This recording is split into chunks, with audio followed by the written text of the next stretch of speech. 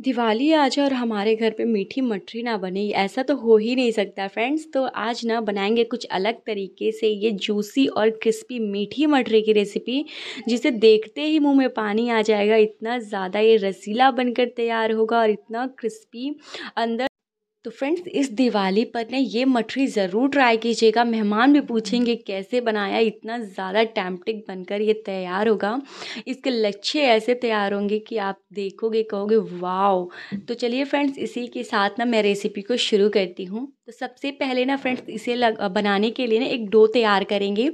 तो डो के लिए ना यहाँ पर मैं ले रही हूँ दो कप मैदा तो यहाँ पर देखिए, मैं ले रही हूँ इस बड़े कप से दो कप मैदा मैं ले रही हूँ। मेज़रमेंट करके आप अपने हिसाब से ले सकते हैं मैदा कम ज़्यादा। तो इसमें डाल दिया है एक चुटकी नमक और नमक डालने के बाद यहाँ पर एक छोटा कप डालेंगे यहाँ पर तेल मोइन के लिए, जिससे हमारी जो मटरी है ना, काफ़ी क्रिस्पी बनकर तैयार होगी। तो ये देखिए, यहाँ पर इस अच्छे तरीके से हमें मोइन कर लेना है। एकदम परफेक्ट मोइन होना बहुत ज़रूरी है फ्रेंड्स। तो ये देखिए फ्रेंड्स, यहाँ पर मैंने मॉइन कर लिया है। कुछ इस तरीके से ना मुट्ठी बंधने लगे तो समझिए आपका एकदम परफेक्ट मॉइन है।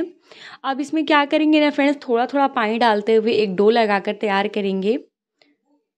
तो चलिए ना अच्छे तरीके से मैं यहाँ पर पानी डालते हुए डो तैयार कर लेती हूँ। तो ये देखिए फ्रेंड्स थोड़ा सा टाइट डो तैयार करेंगे, बहुत ज़्यादा सख्त नहीं होना चाहिए थोड़ा सा नॉर्मल सा होना चाहिए। तो आप देख सकते हैं, बिल्कुल इस तरीके से डो तैयार किया मैंने। अब इसे किसी कपड़े से ढक के रख देंगे साइड में सेट होने के लिए। तब तक मैं तैयार करी हूँ फ्रेंड चाशनी। तो यहाँ पर एक बर्तन में ना मैंने इस कप से एक कप मैंने चीनी ली है और ना सिर्फ़ चीनी भीग जाए, उतना ही हम पानी इसमें ऐड करेंगे। तो यहाँ पर ना चीनी को मेल्ट होने तक हम पकाएँगे और यहाँ पर केसर का पानी मैं डाल रही हूँ, ये देखिए।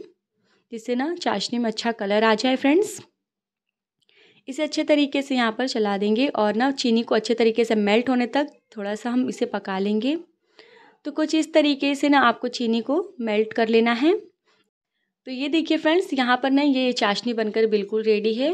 तो अच्छे तरीके से चीनी भी मेल्ट हो चुका है और इसे रख देती हूँ अब मैं साइड में। यहाँ पर ना एक कटोरी में मैंने लिया है कॉर्नफ्लावर कॉर्नफ्लावर में मैं यहाँ पर ऑयल डाल रही हूँ और इसे अच्छे तरीके से मिक्स करेंगे दोनों चीज़ों को।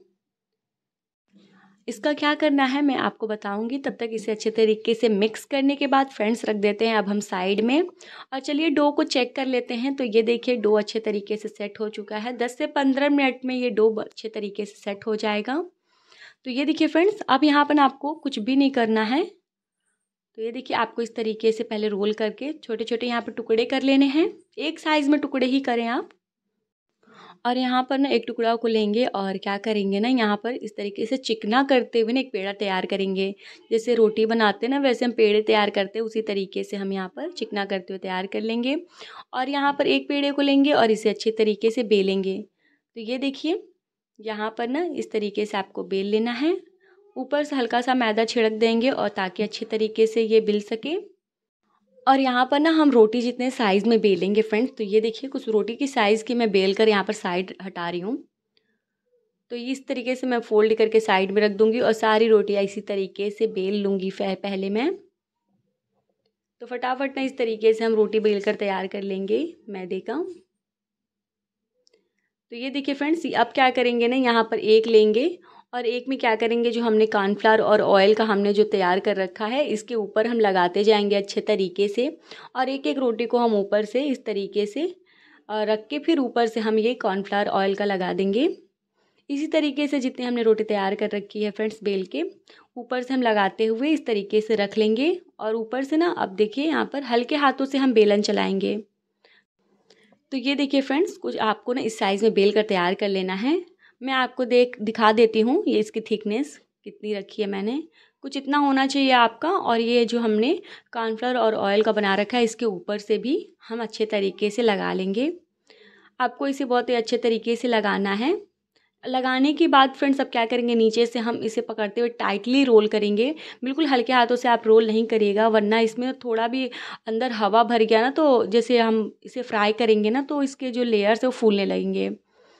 तो ये देखिए, यहाँ पर टाइटली हम इसे रोल करते हुए ना अच्छे तरीके से रोल कर लेते हैं।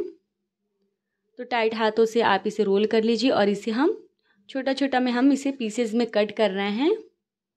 तो ये देखिए फ्रेंड्स यहाँ पर ना इस तरीके से हम पीसेस में कट कर लेते हैं। जब ये फ्राई होंगे ना, इसके लच्छे बहुत ही बढ़िया तरीके से निकल कर आएँगे। आप देख सकते हैं कि कैसे इसमें लेयर्स दिख रहे हैं और ये बहुत ही क्रिस्पी बहुत ही बढ़िया मटरी बनकर तैयार होगी फ्रेंड्स तो हल्के हाथों से आपको दबाते हुए कुछ इस तरीके से कर लेना है और यहाँ पर प्लेट में रखते जाएँगे करके फ्रेंड्स। तो ये देखिए, हमारी मटर कुछ इस तरीके से तैयार हुई है। अब इसे फ्राई करेंगे। फ्राई करने के लिए ऑयल को एकदम कम गर्म रखेंगे, तभी मटरी को डालेंगे, वरना क्या होगा, आपकी मटर ऊपर से सिक जाएगी और अंदर से कच्ची रह जाएगी, फ्रेंड्स। और यहाँ पर फ्रेंड्स, ना उलट पलट करते हुए हम अच्छे तरीके से इसे सेक लेंगे। जब तक इसमें अच्छा कलर नहीं आ जाए सुनहरा और ये अच्छे तरीके से सीख नहीं जाए तो ये देख सकते फ्रेंड्स कि मटरी में अच्छा कलर आ चुका और इसके लेयर्स भी कैसे खुल गए हैं। तो स्लो फ्लेम पे ही बिल्कुल इसे आपको मटरी को फ्राई करना है, तभी इसके लेयर्स अच्छे तरीके से खुलेंगे और ये बढ़िया तरीके से फ्राई हो जाएगा।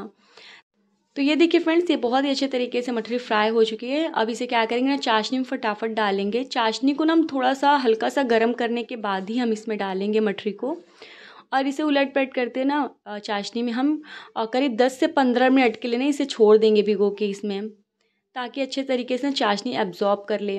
और ना ऑयल जब हल्का ठंडा हो जाए तभी दूसरा आप बैच डालें मटरी का।